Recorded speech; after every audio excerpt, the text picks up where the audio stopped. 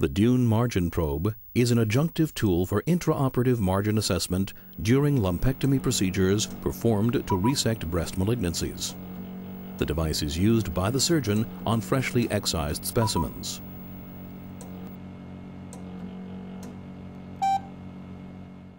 The MarginProbe utilizes electromagnetic waves to characterize human tissue in real time.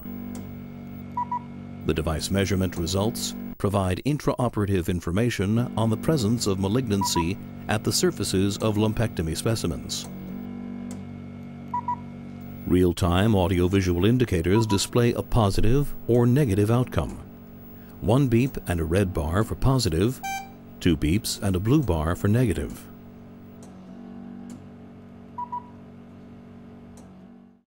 The MarginProbe consists of a handpiece and a console. The handpiece is handheld, sterile, and designed for single use only. It is connected to the console through a cable set.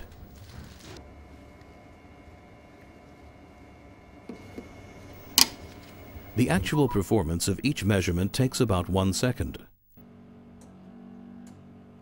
The basic measurement cycle includes contact, attachment, measurement, and release.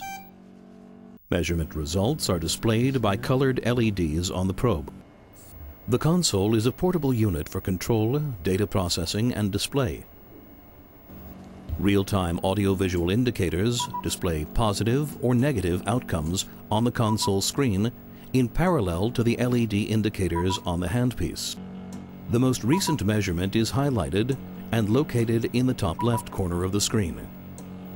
The user can group measurement results by margin each margin's measurements are labeled and outlined in yellow. M for medial, L for lateral, S for superior, I for inferior, A for anterior, and D for deep. Once all six margins have been sampled, results from all measurements are displayed on the screen grouped by margin.